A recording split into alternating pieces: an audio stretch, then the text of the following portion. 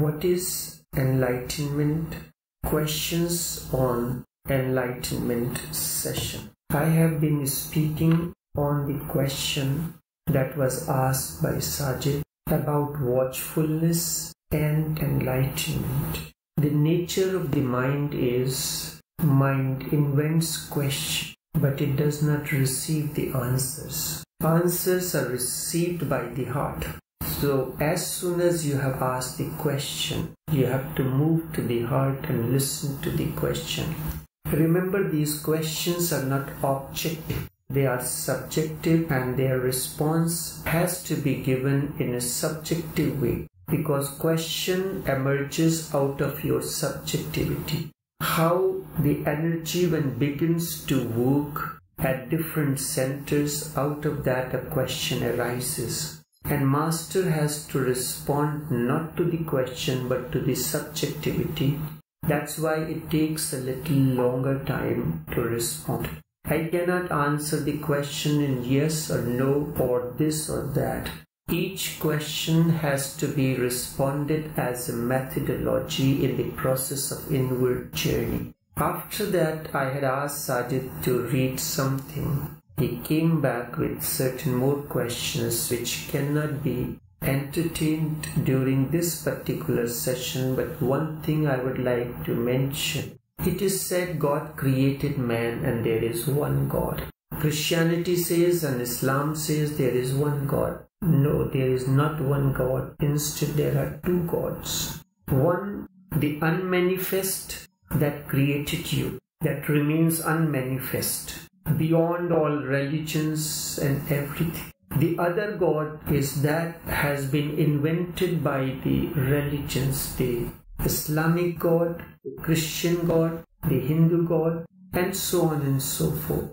It is that the God that you have created creates the problems in the process of spiritual journey. Out of this religion created God, a mind arises and that mind always seeks tries to compare. When something is said it looks for the parallel. Remember religion is not a compar the inward journey is not a comparative study of different religions.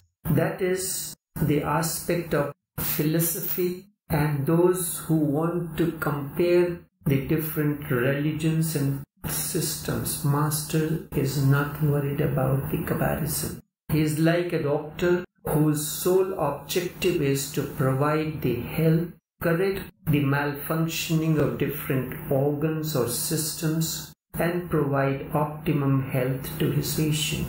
So too the function of the master is to provide inward health to the seeker so that the journey continues.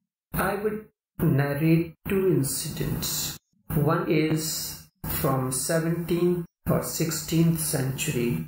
The master is Hazrat Khwaja Muhammad Masoom Razillah and it was the time of the Mughal Emperor Shah Jahan. He was the disciple of Hazrat Khwaja Muhammad Masoom. He brought all his sons to Rosa Sharif in Sirhind in India and asked the master Sheikh Tell me which of my sons will be the next emperor of India. Hazrat Khwaja Muhammad Masoom was sitting on a, on a place which is normally when you come to a master he is sitting on a maybe ground, maybe a little high place or a couch or whatever things are available for him. He got up from his seat where he was sitting and he asked one by one the sons of Shah Jahan and said in Persian, Binashi, have a seat pointing towards the seat where Sheikh was sitting. When a guest comes to your house, you ask him to sit down pointing to the chair or the place that is available for him to sit down.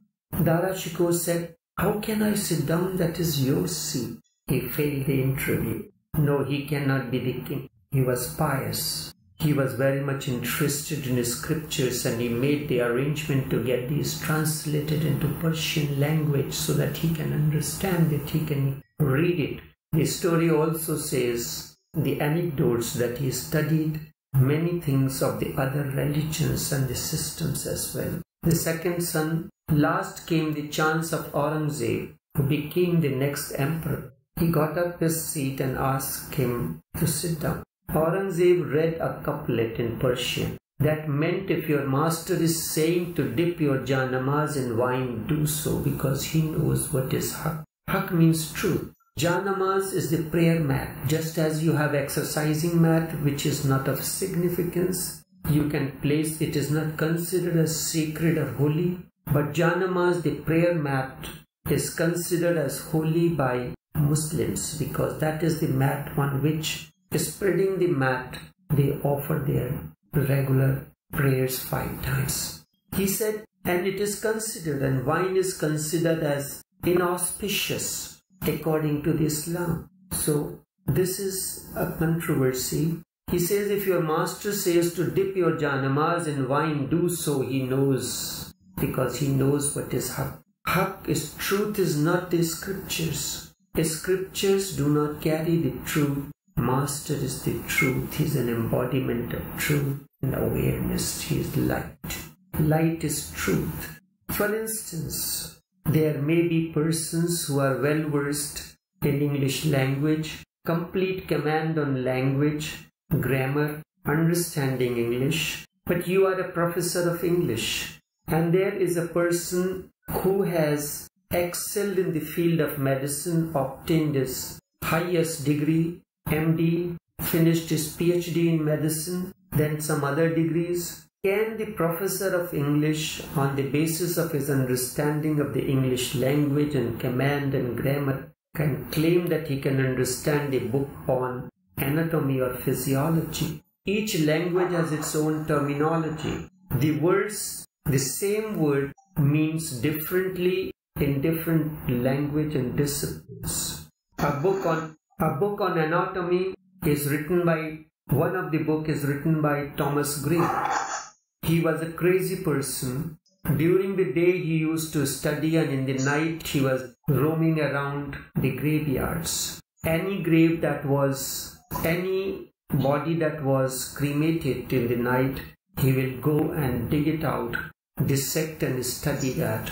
And then before the dawn comes, he will bury it back again. And this is how he studied 350 different bodies and created the book which is known as the Encyclopedia on Anat, known as Gray's Anatomy. A very important book based on his experience. Master is awareness. When he says something out of awareness, it is not easy for you to understand.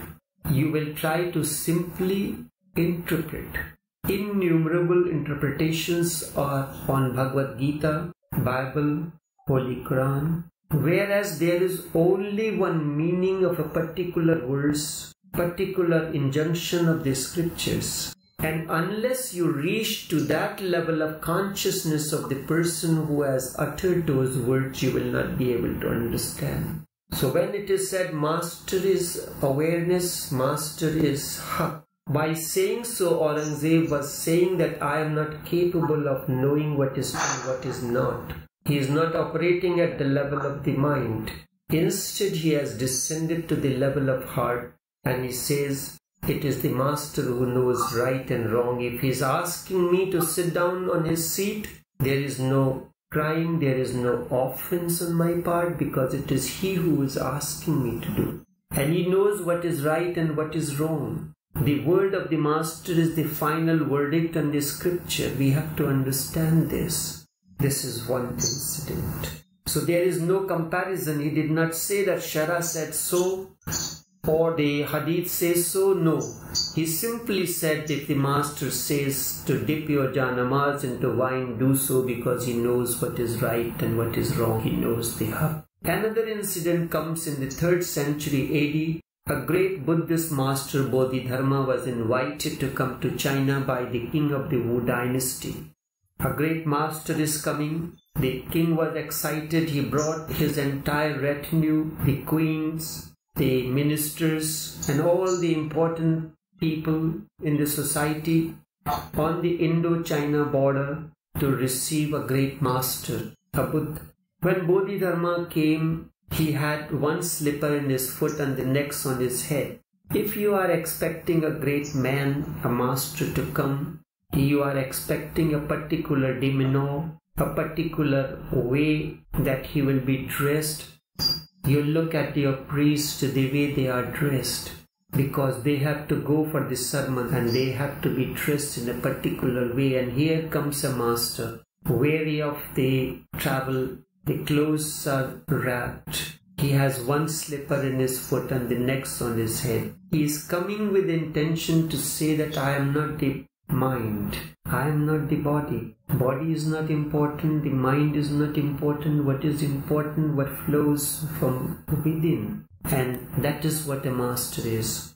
Wu got very embarrassed seeing him. And he was concerned what the people will be saying. That he brought all of them to receive a great master. And here comes a man looking ugly, shabbily dressed, with one slipper in his foot and the next so when he saw the embarrassment on the face of king, he said, This is how I am. If you want me to come to your place, I'll come, otherwise I will go to the mountains and wait for the person for whom I have come. I have not come for you. Then normally if you are doing great things as everybody does, thinking that this I am doing is a great and ask questions. So who asked a question. He says, Sir, I have opened many monasteries Every day Buddhist monks are fed, the schools and places, and so much of charitable work. What is the outcome of all this? We do things in order to gain some reward. And the reward is, will I be able to get the place in the heaven or Jannah or wherever it is? In response to that question, Bodhidharma said, with all these things that you are doing, you will not get the place even in the seventh hell. This further embarrassed Wu. Because he was expecting that he was doing a great work. He's asking a very intelligent question. But the master's vision is totally different. He is seeing what is the objective behind it. Is it to impress and both and whose impression question meant to show that he is doing great things because he has resources. So he thought that this is a great work. The only work that requires is the inward journey, how your consciousness is moving, how you are able to receive. Another day when I get a chance, I will speak on verses or sutras from Nanak, where he speaks on the aspect of listening Listening is an art and nobody. So in response, with this, I will speak on what is enlightenment so that you can connect the watchfulness, the nature of the question and also the what is enlightenment. Enlightenment is realization, not revelation. There is a difference between the two. When the flower blossoms, it realizes its innerness and then it is an expression of inner realization, inner joy, bliss or harmony. It explodes into the blossoming of the flower. This is enlightenment. Mysteries of the unknown as beauty, fragrance and splendor are, real, are released in the blossoming of the flower. There is clue, the bud that was closed living in wilderness all of a sudden opens its petals and when the petals open the pollen begins to show the, its beauty and fragrance multiplies and becomes manifold this is an inner realization it is not divine revolution instead it is divine realization and the difference is immense Indeed, divine revelation means something objective, and realization is something subjective. Spirituality is subjective. It is as if God is revealed to you. That is revelation means. Christians emphasize on the revelation. You see some God, but you are separate from Him. He is separate from you. This is what revelation is. You see a light, the light is outside you. You see a great image that is outside you. There is no connectivity between the two. But in realization, something happens within your subjectivity. When a woman gets pregnant, something happens within her anatomy and physiology. It is an inner growth. And out of that growth, the child is born. This is realization. Enlightenment is realization. Enlightenment is finding that there is nothing to find. There is nothing to do. Enlightenment is realization that there is nowhere to go. Enlightenment is the understanding that this is all, this moment is all. Life is perfect as it is. You do not have to do anything to bring any kind of anything that you need to bring. And that understanding that this is all, this is it, is enlightenment. It is not an achievement. Instead, it is an understanding. Nothing is given to you. Hmm. Many things has been taken from you, all that was false. An understanding dawns, and there is nothing to achieve and nowhere to go. You are already there. If the seed does not have the flower, how can seed grow? Someone asked me, how long did it take for you to grow the beard? I said I was born with the beard. Confused, how can you say that you was born with the beard? I said a man is always born with the beard, but a woman is not. That's why you don't. When the woman grows, the beard does not grow. When a man is born, if he does not have the seed potentiality of the beard to grow, the beard will not grow. The seed has the potentiality of, of becoming the flower. The potentiality is inborn. If the seed is given proper nourishment, proper fertilization, the air, water in right proportion, it is bound to blossom into a beautiful flower that remains hidden and nobody knows whether it is a red rose or orchid or any other flower. From the seed the gardener knows that this seed, when it blossoms, it will become an orchid or the rose of a particular color. Master is the gardener. You are the seed.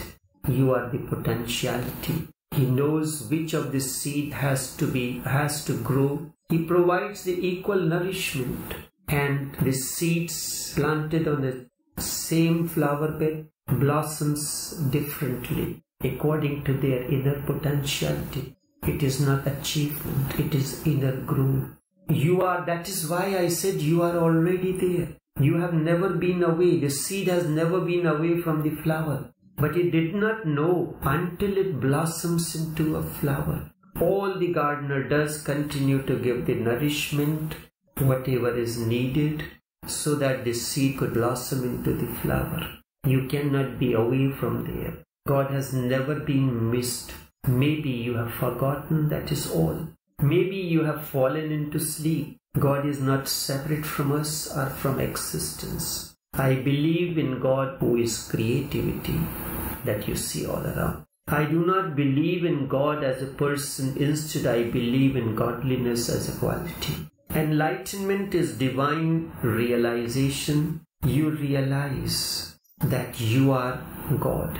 But it is profane to say, when Al-Hallaj Mansoor said, Anal Haq, I am the light, I am the truth, it was considered as blasphemy. And that is the narrowness of a particular understanding. And that is where the problem arises. When you are using your own intelligence to understand the words that carry the subtlest matter, the subtlest expression, you realize that everything is godly. Only God exists and nothing else. In the stone, trees, birds, rivers, mountains, and the people, whether they know it or not, the same principle, the same quality is hidden at the very center of the entire being. Enlightenment is becoming so full of light that you can see your own center and realize your godliness realize your potentiality, then you are the embodiment of the scriptural injunction. Isha, the God, permeates through the entire cosmos as the only cosmic energy. This makes a lot of difference. When you consider God separate, the flower and seed are not separate. The flower is hidden in the seed. The flower is hidden in the seed. And in the flower, the seed becomes unmanifest. In you, God remains hidden. In an enlightened one, God becomes manifest. And that is the meaning of the fana. You do not exist as you expected to be existing. You was an ordinary drop of water, meaningless. Now you have become magnanimous, oceanic. You have become cosmic. All the rivers, all the qualities. Drop attains to the quality of the ocean. Wherever you take the drop from the ocean, it is the sea. And that is the very nature of enlightenment. At that level of understanding, at that level of awareness, the scripture says, Isha Vasimidam. That which is permeates through the entire cosmos. If you understand this, you can enjoy the fruits of the entire existence. This makes a lot of difference when you consider God separate, then you are only a puppet. And God is your teddy bear. You can never be free. That is why religious people are never free. They cannot attain to freedom. A Hindu mind always seeks the Hindu answers. A Christian mind seeks a Christian answer. Muslim mind always seeks the parallel. It is not needed. You do not go and ask the doctor if this medicine that you are giving is mentioned in the scriptures or it is a part of Shara you are concerned with your life is a question of life and death and you completely rely on the doctor to treat you so that your particular ailment that has inflicted upon you is removed. How can you be free of the Creator? He created you. And why did He create you at a certain moment, not before? There is eternity in the past and Christianity says God created the world 4400 years before Jesus Christ. It must have been January the 1st, obviously. But what had he been doing until then? Just sitting and doing nothing for the whole of eternity? And then suddenly he creates this world. Not a great idea, either a mess in six days, God created the world. These are parallels, allegoric. And after six days, God got tired, so he rested, and he has been resting since then. This is indeed strange tides, and it seems to be whimsical that suddenly he decided to create the world. Science has already proved that existence is much older than 6,000 years. And when you look at the Hindu scriptures, it talks about the time which sometimes has been confirmed by the scientists, the NASA and the other space scientists, the distance, the observatories that has been made in India to discover the time. They are based on the distance between the earth and the particular this sun and the other stars. It is scientific. Therefore, you cannot depend on such whimsical God. Tomorrow he may decide it is enough and he decides to destroy us. What can you do? With a God who is creator, who can make or mutilate you, then your freedom, then your individuality, both are meaningless. And this is the God that has been created by the man, by the priestly community. Not the God that created you, Nietzsche is right to say that God is death and man is free. Putting two things together, his inside God is dead and now man is free. With God alive, the God that you created being alive, you cannot be free. It is wrong to say God is dead because God is not an object outside the existence. He is not a creator, instead, he is the innermost reality of the existence the very core of the existence without he is the center just as without the center there can be no periphery god is the center without which there can be no periphery no existence no world nothing he is the eternal he has always been here now and he will always be here now then Nietzsche is wrong to say God is dead. When something is eternal, it is beyond death and birth. And that is what you are. The seed had the flower hidden in it.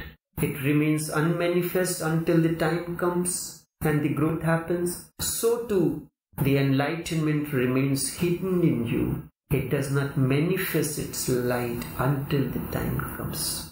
The process of creation did not end in six days. It is still going on. It's a continuous process, ongoing. This is known as the evolution. But God has to be put inside it, not outside it. When you put God outside, the world becomes dead and God becomes a dictator. God inside in the existence makes the whole of life alive, everything vibrant and pulsating then God is no longer a danger. With this center, you can change the distance from center to periphery and create as many peripheries, as many circumference as you wish. All those who consider enlightenment as divine revolution may have simply dreamt about it or have been hallucinating.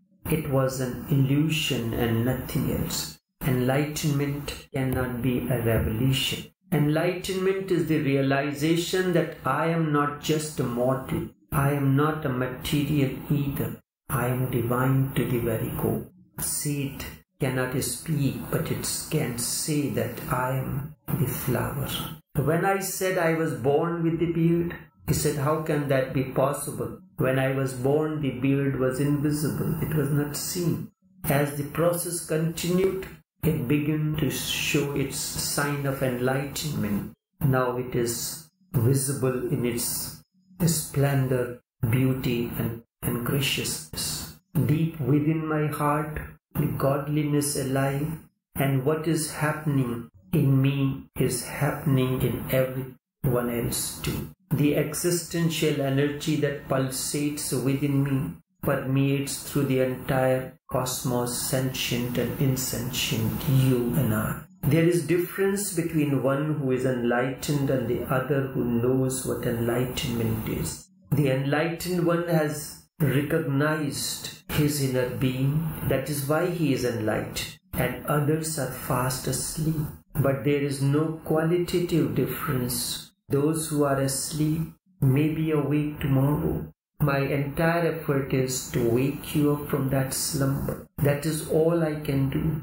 The potentiality is already there. What the gardener is doing, trying to wake up the seed step by step so that its inner beauty and fragrance and splendor can manifest.